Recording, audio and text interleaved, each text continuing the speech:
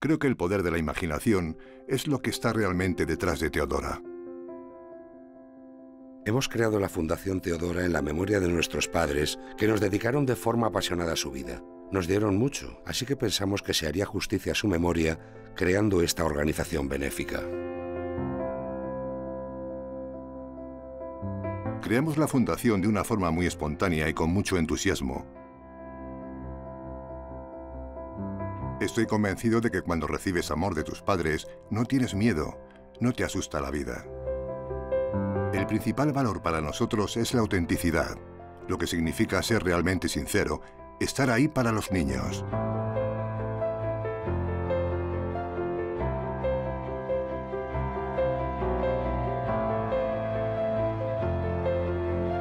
Los niños son muy sensibles e inmediatamente perciben si no eres auténtico. Todas las personas que han trabajado con Teodora y todas las personas que nos apoyan tienen una historia auténtica y esa es la razón por la que están ahí. Y no son solo directivos u hombres prácticos de negocios. Gracias a ellos tiene sentido.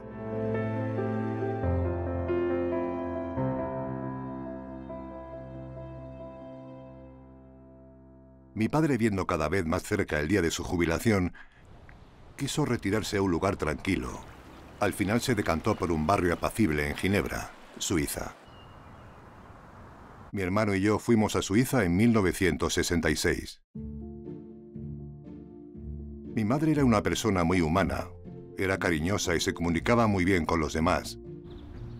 Nos ayudó a integrarnos en esa nueva sociedad, en esa nueva cultura.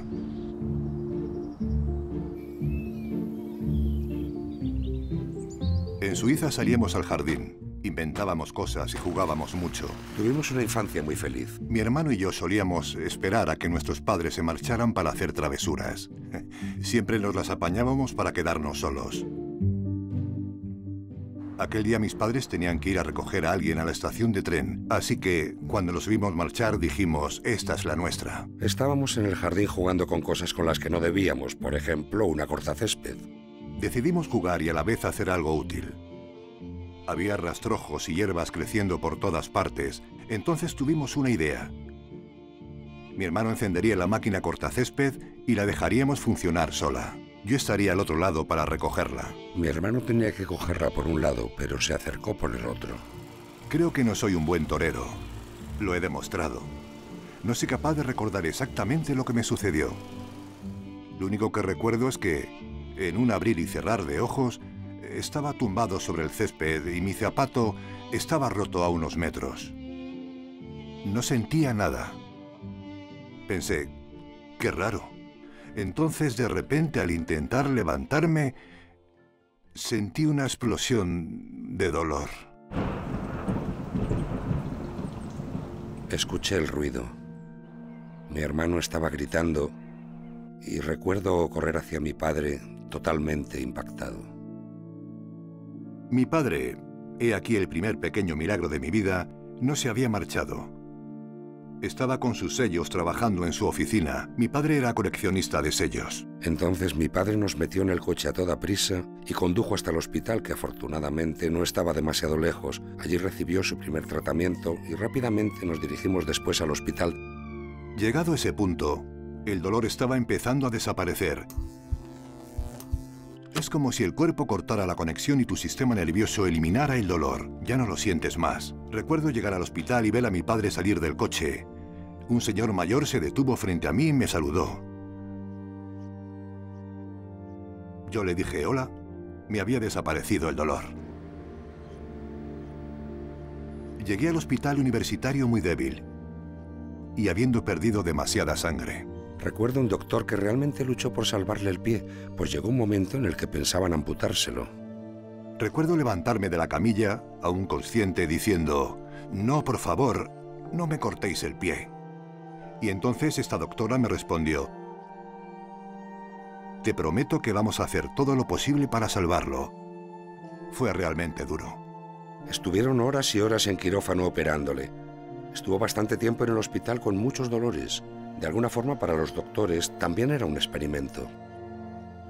Tuve muchas complicaciones e infecciones, momentos muy dolorosos, pero al final dio resultado. Fue muy difícil para todos. Me tenían que cambiar a menudo el vendaje del pie. Podía verlo y sentir el dolor, pero miraba hacia otro lado y pensaba en las visitas de Teodora. Por la tarde mi madre siempre estaba conmigo para animarme. Estaba muy atenta y siempre me traía esos momentos de juego en los que la imaginación es una vía de escape. De hecho, mi madre fue el primer doctor sonrisa cuidando de él y llenando el hospital de risas y juegos.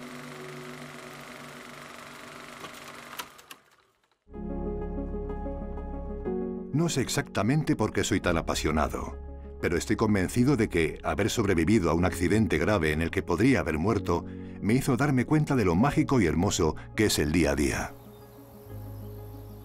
Creo que esto caracteriza a todas las personas que trabajan en Teodora, no solo a mí, a André o a mis padres. Estos son los valores que calan en la Fundación y en todas nuestras interacciones, pues no es solo una institución, es más que eso. Teodora son personas, Jan y André. De hecho, mi madre fue el primer doctor sonrisa. Estudió en el conservatorio, era una apasionada de la música y un músico excelente, además de tener muy buen oído. Era muy talentosa, hasta tal punto que podría haberse dedicado por entero a su carrera como pianista. Rebosaba energía positiva, como te digo, y un excelente sentido del humor. Puede que sea algo insignificante, pero con nuestras visitas tratamos de conseguir que los niños puedan evadirse del hospital. Los niños cuando llegan al hospital maduran inmediatamente, llegan de un mundo de niños a un mundo de adultos.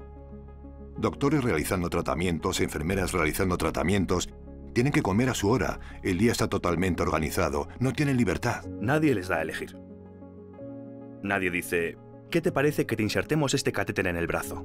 ¿Te parece bien? ¿Lo hacemos?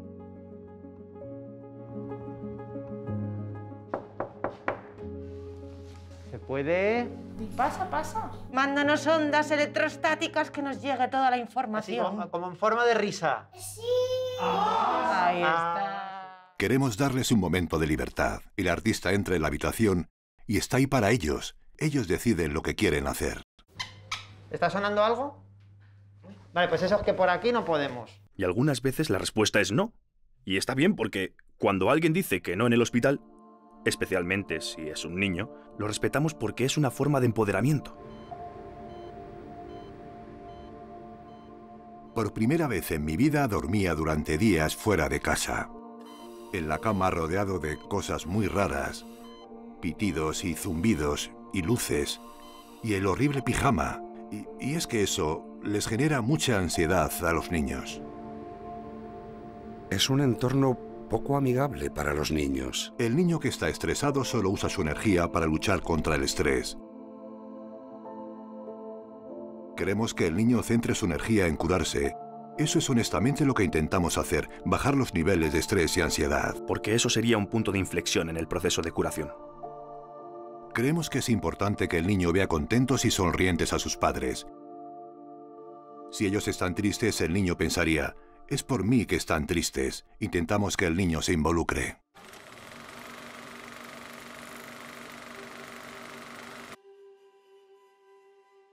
Mi madre se hizo cargo ella sola en casa del tratamiento de mi padre. También nos apoyaba a nosotros. Imagina, mi hermano y yo, muy traumatizados por la idea de que nuestro padre tenía cáncer, y eso es algo que nos inspiró mucho.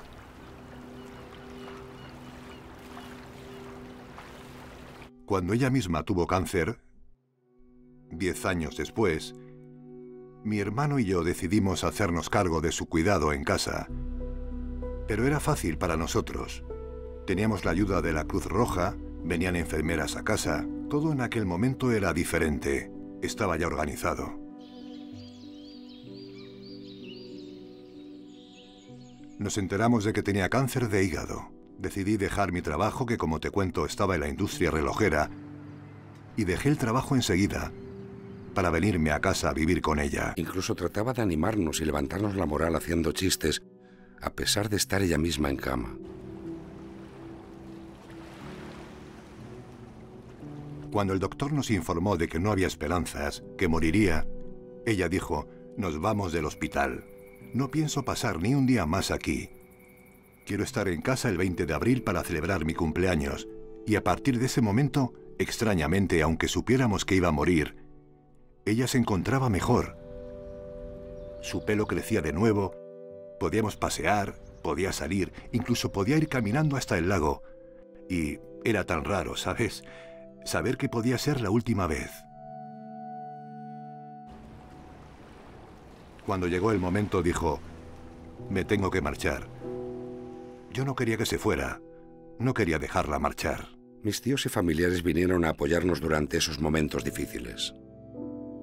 Sí, queríamos mi hermano y yo darle algún sentido a esta terrible historia. Porque se fue muy joven. Solo tenía 62 años y pensamos que tenía aún mucho que ofrecer. Le quedaba un tanto por vivir y entonces pensamos, vale, ya no está aquí, pero su espíritu está en nuestros corazones, así que hagamos algo con ello. Lánzamela. O sea, tú coges ahí y me la lanzas a la mano. Con cuidado, ¿eh? Que si pesa mucho la magia se va a caer. Ahora me la voy a tragar. Espera, a ver. Oh. Aquí está. La magia. La interacción es clave, lo sabemos ahora que hemos estado confinados y aislados. Esto es lo que sobre todo sienten los niños a diario, además del dolor. Una interacción con el artista. Con esta dinámica, ten por seguro que será crucial en el proceso de curación del niño. La interacción es yo no soy si tú no eres. Y si no hay interacción, ¿qué hago yo aquí? Eres una persona. Y hay una parte de ti que está sana. Es gracias a esta interacción. Estás ahí, interactuando con la mirada. Te pones al nivel del niño, le miras de cerca, pero no demasiado cerca. Realmente estás interactuando con él. No solamente veo que tienes un gotero, que tienes un... sino que de repente vuelvo a verte como persona. Estás ahí para el niño y su familia y te entregas totalmente a ello. A ver, una, dos. Uy, no te va Ay. Ay, perdón, ¿eh? Ay. Se lo voy a pasar a mamá, ¿vale? Una, dos y tres. Con todo mi amor. ¡Shup! ¡Uy! Fue en Estados Unidos en 1988 donde encontré una revista de Life Magazine y hojeándola encontré ese artículo que trataba de artistas profesionales que visitaban a los niños en el hospital de Nueva York. Y esto por supuesto me recordó a mi propia historia en la que Teodora me iba a visitar al hospital cuando yo era un niño. Así que cuando André llegó con la idea del artículo sobre Michael Christensen que había leído en la revista, fue genial decir que sí. Era una idea brillante. Y eso es lo genial de los hermanos, porque me dijo, sí, hagámoslo. No dijo que no, qué idea tan tonta, dijo, vamos a hacerlo. Creamos la fundación realmente rápido después de que muriera mi madre. Cuando empezamos había cuatro organizaciones en Europa como nosotros. Todas eran muy pequeñas en aquel momento, tanto que ni siquiera se conocían entre ellas, todas inspiradas en Michael Christensen. No tomé la decisión concreta de trabajar en hospitales. En 1985 perdí a mi hermano Kenneth de cáncer pancreático y a raíz de ese acontecimiento y del proceso de duelo me sentí empujado hacia el compromiso de ayudar a otros. Antes de morir, mi hermano me dio un maletín médico muy parecido a este de aquí. Había ido a un mercadillo y pagado unos dólares por un viejo maletín médico negro. Y su hermano le regaló ese maletín de doctor. El típico maletín de piel que usan los doctores, donde guardan el estetoscopio y esas cosas, más simbólicas que útiles. Y le dijo, lo harás tú mucho mejor que los doctores a partir de ahora. Y ese maletín médico estuvo en mi armario guardado durante varios meses. Mi hermano murió en octubre y en primavera, estando en mi oficina en la Gran Manzana de Nueva York, suena el teléfono, lo cojo y una voz de mujer pregunta, ¿estoy hablando con Michael Christensen? Le respondo, sí. Y ella dice, señor Christensen, he estado enamorada de usted en secreto durante años. La verdad es que no estaba enamorada de mí, sino del personaje que yo encarnaba en el circus de la Gran Manzana. Un payaso llamado Mr. Stubbs. Resultó que ella era jefa del Departamento de Desarrollo Quirúrgico de Cardiología para Niños en un centro hospitalario infantil de Nueva York. Él fue el primero que visitó a niños en los hospitales como artista profesional para colaborar y apoyar con su optimismo. Me puse una bata blanca y empecé a llamarme doctor. Así que, en vez de ser el señor Stubbs, me convertí en el doctor Stubbs automáticamente. Pensé, oye, espera, pero si tengo un maletín de doctor. Tenía en mi maletín, en vez de instrumental médico, instrumental payasístico en su lugar. Michael Christensen es considerado por todas las organizaciones que se dedican a esto en el mundo como el padrino de esta idea. Asistimos a una niña pequeña durante el proceso de una intervención quirúrgica muy innovadora, que entonces supimos nunca se había hecho antes. Ella realizó un trasplante de nariz de payaso al doctor. Esto sería el comienzo. Los dos días más importantes en la vida de una persona son el día en el que naces y el día en el que sabes por qué has nacido. Ese día supe por qué había nacido. Fui a Nueva York para hablar con él y ver su trabajo. Le dije, escucha, he comenzado este programa en Suiza con toda modestia y estamos ya en Belrus y en Inglaterra también, y queremos empezar en Francia. Estos dos tipos tenían un destello en los ojos que decía, Oye, ¿quieres jugar? Y nos respondió, es genial, estoy feliz de poder ayudaros. Cualquier cosa que necesitéis os ayudaré. Considero que no debe existir competitividad y que tampoco debería haberla entre organizaciones benéficas. Nos dedicamos a ayudar, así que deberíamos también ayudarlos entre nosotros. Dijo, quiero ayudar, contad conmigo. Soy el asesor artístico de Teodora. Y es un honor serlo. Y es que encaja perfectamente. Encaja porque compartimos los mismos valores. Compartimos un pasado similar en el que el sentimiento de dolor y pérdida lo hemos transformado en una inmensa alegría que ofrecemos a otras personas. Él es probablemente el mayor experto en este campo y ha inspirado a tantas y tantas personas.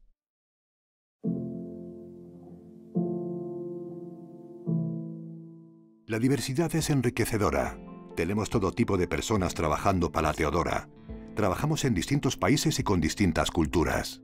Somos una entidad internacional, en cada país trabajamos de manera independiente, pero siempre alineados eh, en la misma filosofía.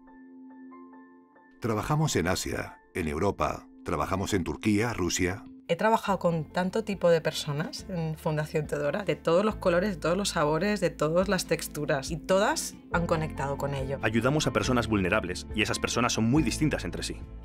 Lo que realmente impresiona es que a pesar de las diferencias culturales y de la diversidad que hay en este mundo, cuando se trata de niños que reciben una visita de los doctores Sonrisa de Teodora, reaccionan exactamente igual. Y es maravilloso ver que realmente el mundo de los niños es un mundo sin fronteras. Tú te llamas Elsa. Tú te llamas. Soy la doctora Elsa. Hola. No. Yo, yo soy. Pues yo. no. No, pues yo soy. La doctora no. Yo soy Elsa y soy la de Frozen.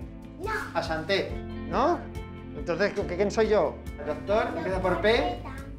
Toma ya. Pero ¿cómo sabes tú que me... Además que un nombre muy... El mundo hospitalario es muy jerárquico y los profesores y doctores que han estado estudiando por tantos años, con tanta experiencia, te ven llegar y decir, quiero crear un personaje que parezca un médico, pero un médico gracioso. Fui a ver a dos artistas profesionales muy buenos. Uno de ellos no era en absoluto un payaso, y esto era importante porque pensamos que los niños en el hospital a veces no necesitan reírse. Es mucho más que sonrisas lo que traemos al hospital. No tienen que reír. Lo que tienen es que eh, sentirse eh, aliviados durante ese momento si podemos. Y si no, que por lo menos hagan lo que quieran. Y que el dolor sea escuchado, que la rabia sea escuchada, que el llanto sea validado, es visibilizar lo que hay. Queríamos alejarnos del típico personaje de payaso que era por algunas personas considerado demasiado superficial.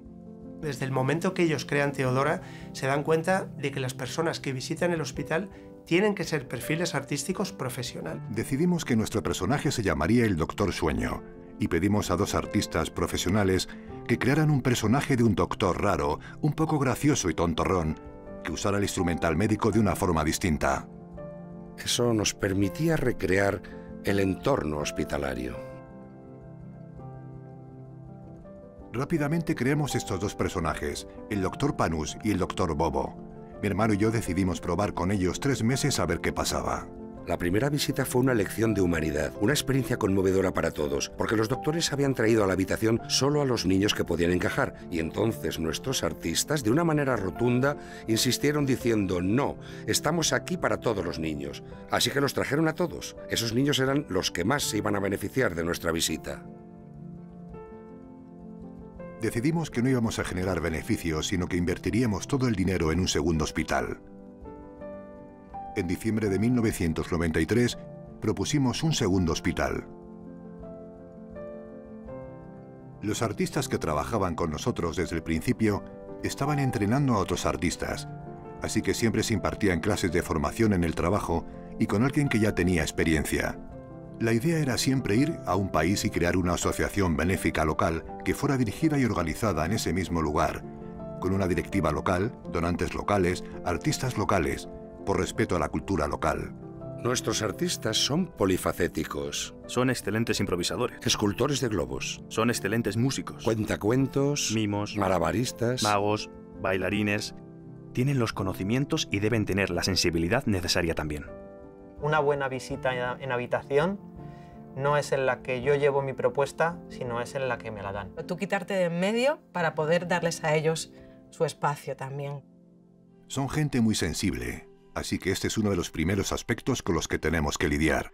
Cuando creamos la fundación había que enfrentarse a muchas emociones, pues cuando trabajas con niños enfermos y los acompañas durante meses, a veces los ves morir. Podíamos aceptar lo malo, pero no es ahí donde ponemos nuestra energía, sino en lo bueno, la imaginación, la alegría, la diversión, la improvisación, el juego, el espíritu de juego.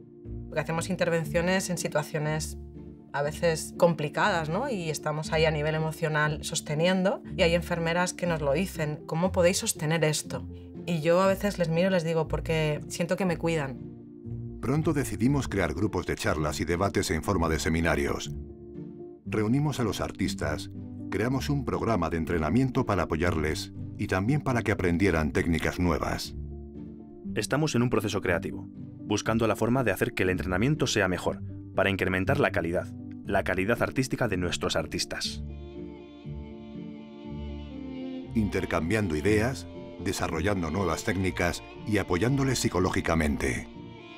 Les entrenamos para estar en un entorno hospitalario, aumentar sus capacidades y desarrollar nuevas habilidades, pero ellos deciden cómo entran y qué hacen en la habitación. Y los doctores sonrisas son un catalizador de esa energía positiva. Los papás que están viendo a su hijo que está relajado, se relajan también. Y ese es el momento en que ese niño o esa niña ven a sus padres relajados y sienten inconscientemente la autorización para venirse arriba. Se llena la habitación con esta espléndida luz brillante que proviene de la alegría y el juego, y está en todas partes. Los padres que están en la habitación la sienten. Y claro que los niños la sienten también. Tú la sientes y es como adictivo porque no quieres que desaparezca.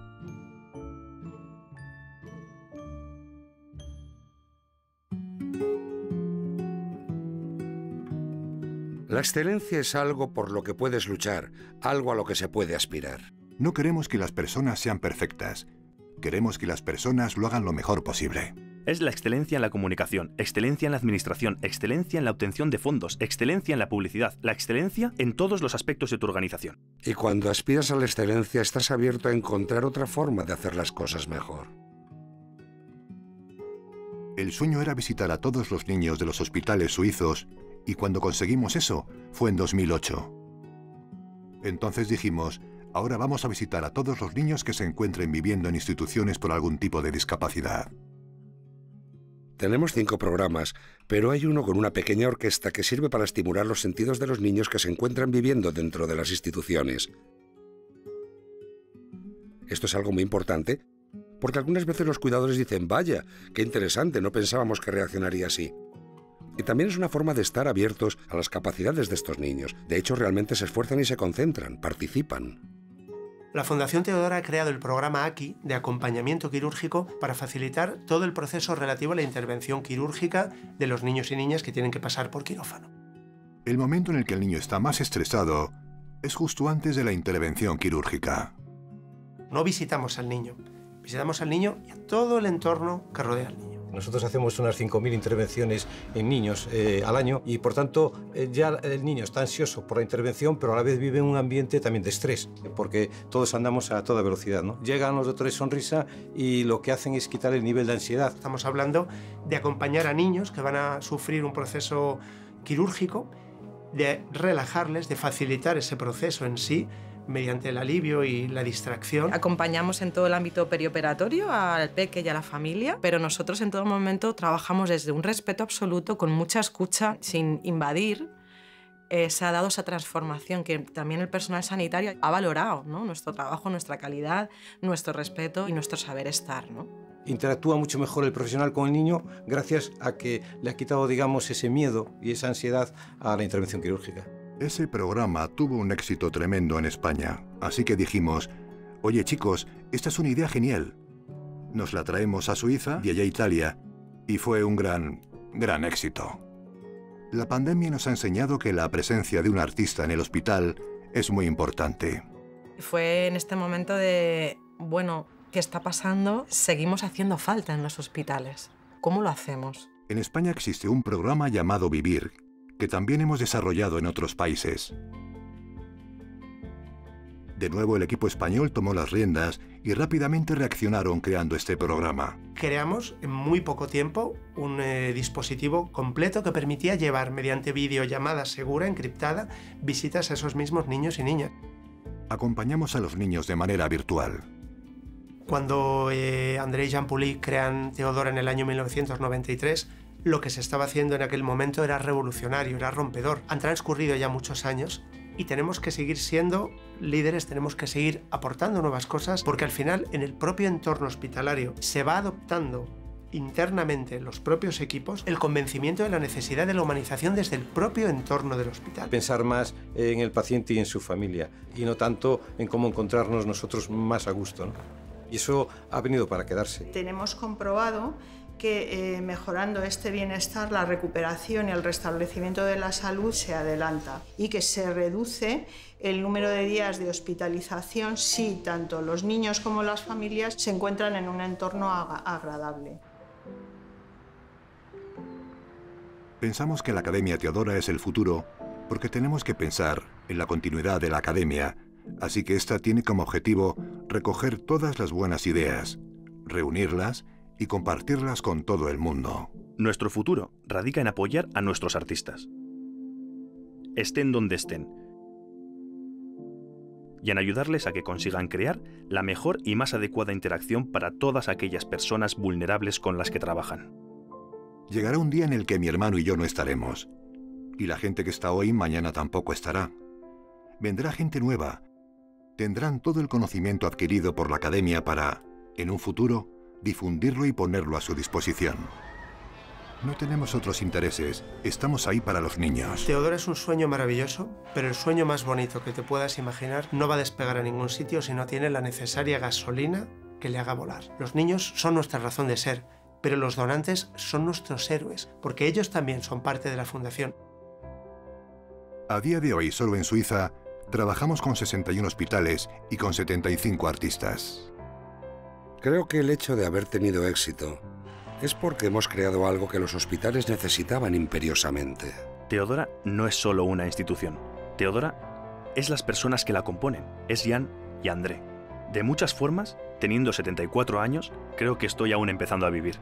Soy un entusiasta, un pasajero que viaja acompañado de tantas otras personas. Es un reto cada día, pero es precioso. Estoy orgulloso de Teodora, orgulloso de lo que hacemos, orgulloso del equipo, estoy orgulloso de los artistas.